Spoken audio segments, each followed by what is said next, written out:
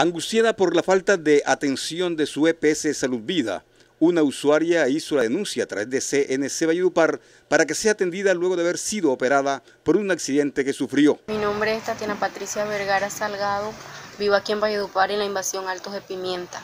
Y esta denuncia es para denunciar a mi EPS porque hace seis meses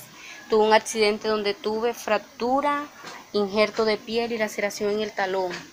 y ahora hace 15 días estoy presentando fiebre y mal color en mi pierna, donde, donde he ido a la clínica. Laura Daniela no me quisieron atender y a la clínica Arena fui también y el médico me me dijo que posiblemente eso podría ser una celulitis y me mandó para la casa. Eh, fui al hospitalito de la Nevada porque estoy asustada por el mal color que tiene mi pierna y que estoy, me está saliendo mucho pus de ella y no me dieron los primeros auxilios. Me dijeron que eso no era de atención de ahí. Entonces he ido a tantas partes, a la EPS, la EPS me tiene en un via y desde hace seis meses, necesito una cirugía en mi pierna, no tengo sensibilidad en el pie, no tengo movilidad, eh, la pierna se me está encogiendo porque necesito una cirugía de tendones o de nervios y ni me autorizan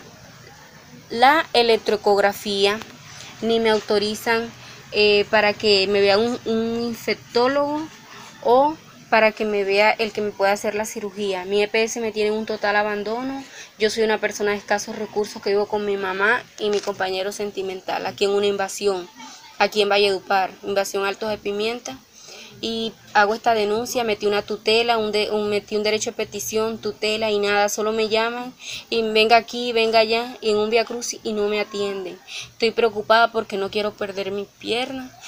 este, me está saliendo mucho pu, tengo mucha fiebre, dolor de cabeza, por favor ayúdenme.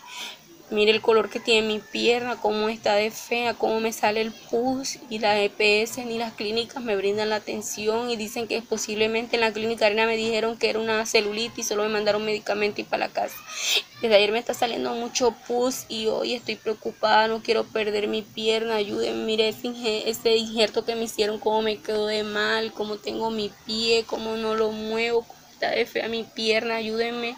por favor. Saúl Mindiola es una persona que quiere el municipio de Pueblo Bello. Me duele lo que pasa por Pueblo Bello y ya cansado de toda la politiquería que se ha venido desarrollando a lo largo de todo este tiempo, asumo con responsabilidad un proyecto que se denomina Todos Somos Pueblo Bello, en donde queremos efectivamente que podamos transformar Pueblo Bello desde la misma forma de hacer una campaña política